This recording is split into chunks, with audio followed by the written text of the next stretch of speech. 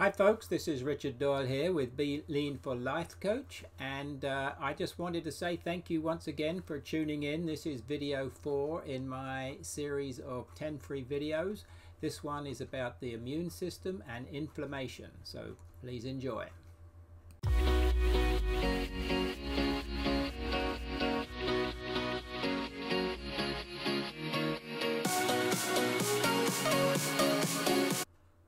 Okay then, let's get into the immune system and inflammation.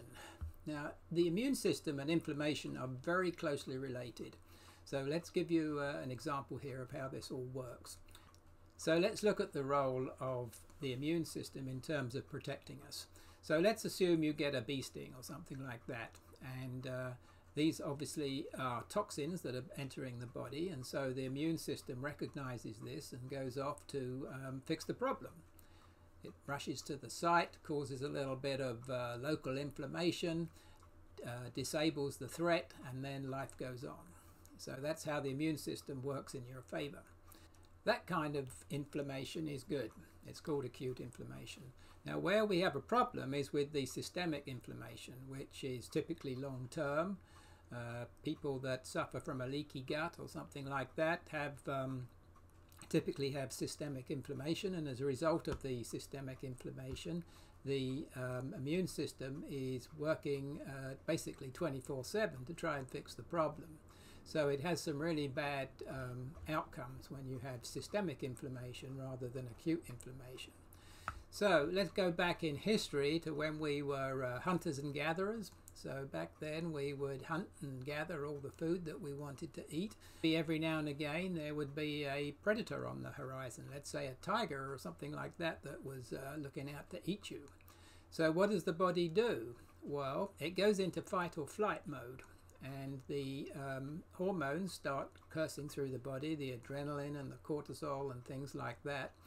The effect that it has is that it dilates your blood vessels, allowing uh, blood to flow more freely to the extremities so that you can uh, get away quickly as necessary. And it also um, helps you focus. It shuts down various parts of the system like the um, digestive system, reproduction system, etc., because it doesn't want any of that going on while it's trying to get away from the tiger. So if you're suffering from systemic inflammation, you basically have that stress going on all the time. So that is akin to basically being chased by a tiger 24 7. And so, as you might expect, that's not going to have a very good effect on you. So, let's talk about stress. Uh, and we think typically of stress as being external, meaning that uh, you know we have anxiety or depression or you know something that uh, is external to our body. And as a result we react to that and that reaction is referred to as stress. So that's what we call uh, external stress. But the internal stress that's caused by inflammation is, is much worse. And it's much worse of course because it's there continuously. Now of course with the external um, stress, we're kind of motivated to fix that. Obviously, we don't like the effect of it, and so we can go out there and find some uh, solutions. We may get some medication, we may get some therapy. Um, either way, uh, there's ways we can fix that. I wouldn't necessarily recommend those ways, there are other ways, but that's typically what we do when we have external stress. Now, let's say we show up at the doctor's office with uh, stress related issues, and that those stresses are associated with the internal stress. And um, can you imagine the doctor looking at you and saying, Hmm, I think you probably have got uh, systemic inflammation, and uh, that's what's causing a lot of the stress in your body, and therefore we should probably look at your diet and see if we can change things so that we can get that stress reduced. Well, that typically doesn't happen. Why doesn't that happen? Well, it happens for a couple of reasons, really. I think one reason is that uh, typically doctors that uh, go through 10 or 12 years of um, medical education perhaps only do one semester of nutrition. At least, of course, they're um, specializing in nutrition, but a lot of my doctor friends have told me that they had next to no nutritional um, uh, education at all. And so, as the doctors are very busy, um, they don't get a lot of face to face time with their um, patients. and so they're looking to fix the symptoms rather than the cause so you know they will recommend medication of some kind and send you on your way rather than trying to fix the cause which uh, would be a lot cheaper and a lot better for your body so perhaps even worse than that is uh, let's say that uh, as a result of this uh, inflammation you end up with some kind of metabolic disease which puts you in hospital so now you're in hospital and uh, it's time to eat. Well, what are they going to feed you? Well, they're going to feed you on the institutionalized standard American diet. And what's actually happening there is that the reasons you ended up in hospital um, was because of your diet. And what do they do? They feed you the same stuff that put you there. So that's not a whole lot of good either. So now let's look at the situation when um, you've got this um, systemic inflammation going on, so it's 24-7, all the poor old immune, immune soldiers are, are worn out and um, they don't really have time to go and deal with these acute issues like the bee sting. Well, let's take the bee sting for example. So you get the sting, and in the first example, it was taken care of pretty immediately by the immune system. But let's assume that the immune system is now degraded or downgraded by the um, inflammation that's going on in your system. So now um, your immune system, the soldiers that are fighting for you, are all heavily engaged in battles around other areas of the body and uh, are not really available and are not really available to get to the site of the new injury or threat, whatever it may be. And so that bee sting that might have been taken care of in a couple of days with a little bit of minor inflammation uh, could go on for a long time and could even uh, get infested. So that's kind of what happens when your immune system is downgraded. Uh, let's take another example. Let's say you um, go and have a flu shot. Well, uh, the way the flu shot works is that you have a little bit of this virus uh, is injected into you, and as a result, the body sees it as a toxin and goes to work to neutralize it. It's a very small amount, so it's not a big issue, but the immune system actually figures out what it is and remembers how it dealt with it.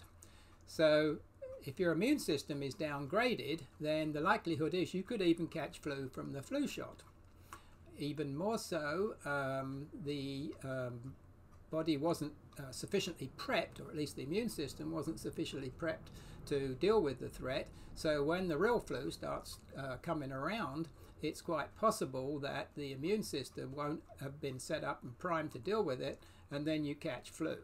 So you've probably heard people say, "I can't believe I, I got flu, but um, you know, I had the flu shot." Well, that's how that happens. A similar thing uh, can be associated with allergies. There is uh, an immune system reaction within the body to um, allergies.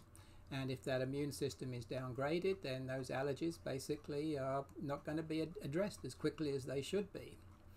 Now, the immune system also works as a maintenance crew.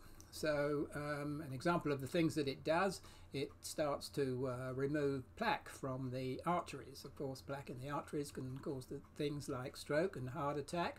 And it's obviously in your interest that there's enough immune soldiers uh, running around that can do this clean-up maintenance work. Well, if your system is downgraded, again, there's going to be less of these guys available to help you out. And so the plaque and so on that can uh, potentially build up in your um, blood vessels, if you're eating the wrong stuff, uh, will continue to grow because you don't have an immune system to combat it. Another issue is uh, you can't really blame your parents either. Um, I'm sure you've heard people say that uh, their family is predisposed to certain diseases like being overweight, obesity, heart attack, and so on. And it's true that you do actually inherit the um, genes from your parents. But the genes um, basically are affected by your lifestyle as much as anything. And that lifestyle we're talking about here, particularly, is, is your diet.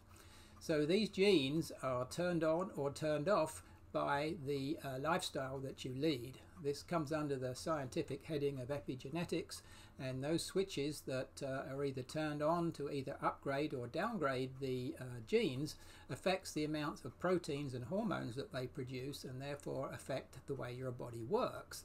So if you are born into a family with a certain predisposition to a disease and you grow up in that family and all your lifestyle choices while you're growing up are similar to your parents and if you continue with the same lifestyle choices that your parents made and you made when you were growing up it's likely that those um, predispositions to certain diseases will manifest themselves in you as an adult later in life. It's just kind of the way things goes.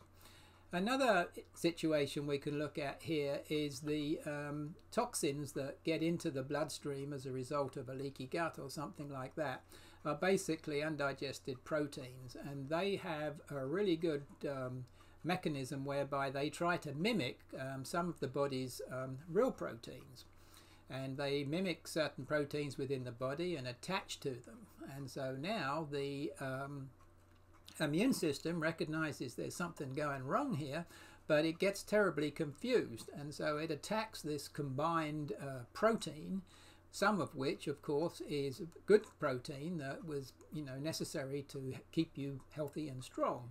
And when this happens, you effectively start attacking yourself, and that leads to all the autoimmune diseases. So that's not good either. So like in uh, most of my videos, I usually have some good news at the end, and the good news here is that a lot of these conditions can be reversed. So like in the first three videos, we talked about insulin resistance, we talked about leaky gut, we talked about the body's weight set point. All of these things can be reversed.